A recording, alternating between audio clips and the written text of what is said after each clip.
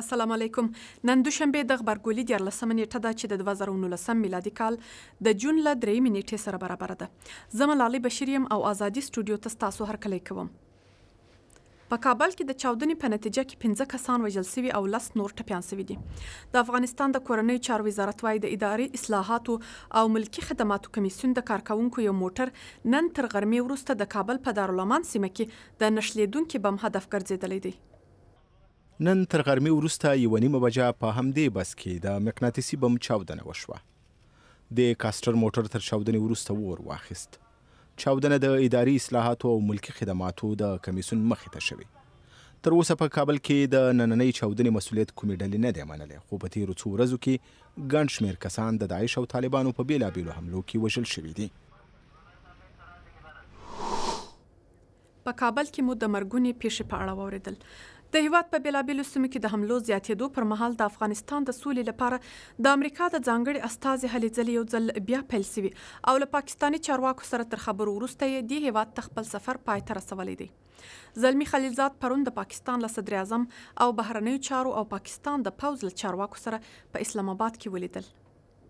د افغانستان د سولې لپاره د امریکا د بهرنیو چارو د وزارت ځانګړي استازي اووم سفر له پاکستانه پیل شو، په اسلام اباد کې د امریکا د سفارت د اعلامیې له مخې، زلمی خلیلزاد به د پاکستان له صدراعظم عمران خان، د بهرنیو چارو وزارت له مرستیال افتاب کوکر او له لوی درستیز قمر جاوید باجوه سره د افغانستان د سولې په برخه کې د پرمختګونو په اړه خبرې وکړي. په اسلام اباد کې څلورویشت رغنده ساعتونه. د پاکستان مشرانو ته مې د تېرې میاشتې د پرمختګونو په اړه جزیات ورکړل، له دوی سره مې په دې اړه خبرې وکړې چې پاکستان څه ډول کولی شي د افغانستان د سولې په پروسه کې همکاري وکړي. د افغانستان د سولې په پروسه کې د پاکستان همکاري د سیمې په ګټه ده او د امریکا او پاکستان اړیکې پیاوړې کوي. د امریکا ځانګړي استازي همدا راز له اوږدمهالې سولې، د افغانستان او پاکستان د ګټې اخیستو او د اړیکو د پراختیا په اړه خبرې کړې دي. ټاکل شوې چې زلمی خلیلزاد د خپل دوه اونیز سفر پر مهال چې د جون تر شپاړسمې نېټې دوام کوي، افغانستان، بلجیم،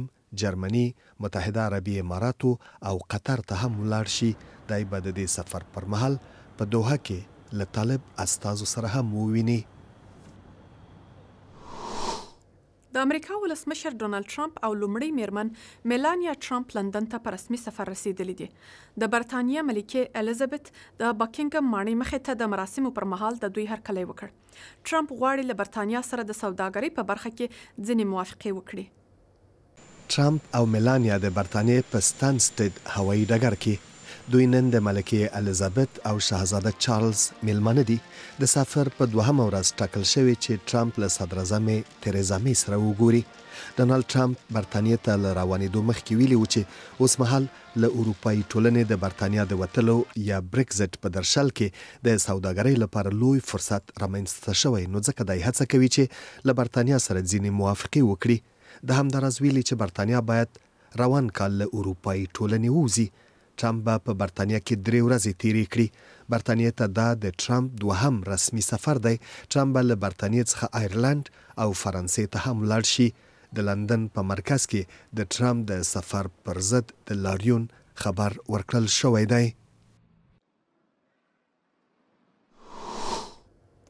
د سوډان په پلازمېنه خرطوم کې د لاریون پر مهال لږ تر لږه نهه کسان وژل شوي او ګڼ نور ټپیان شوي دي. د راپور له مخې د سوډان امنیتي ځواکونو پر اعتراض کوونکو ډزې پیل کړې چې د نظامي اډو مخې ته راټول شوي وو.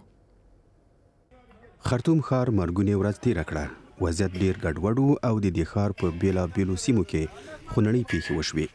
د سودان د حکومت له مخالفانو جوړې یوې ټولنې ویلي چې د اعتراض کوونکو ټول وژنه شوې. په خرطوم کې د امریکا سفارت غوښتي چې ژر تر ژره باید پر لاریون کوونکو حملې بندې شي، له کله چې د سودان پخواني ولسمشر عمر البشیر په اپریل میاشت کې له واکه لرې شوی، تر اوسه یوې نظامي انتقالي شورا د حکومت چارې په لاس کې اخیستې دي.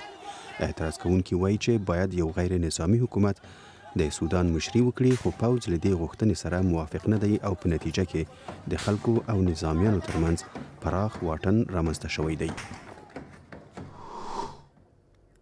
د اروپا د اتلانو لیګ په پایلوبو کې تر بریا وروسته مینوالو د لیورپول فوټبال ټیم پراخ هرکلی کړی دی.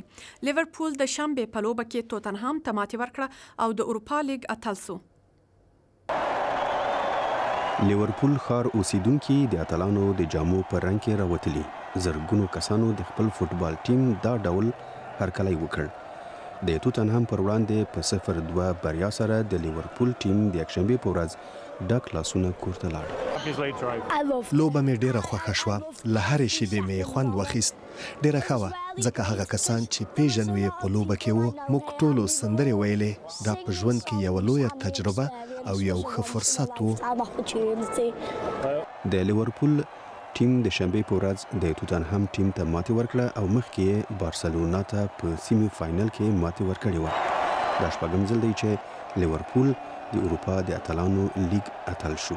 دا ټیم توانېدلی چې د انګلستان د فوټبال تر هر کلب زیات دا ډول لقبونه خپل کړي. له ملتیا مو مننه. دا خبرونه زموږ پر ویب پاڼه ازادي راډیو ډاټ اورګ هم کتلای شئ. پر فیسبوک او ټویټر هم له موږ سره ملګري شئ. د خدای په امان.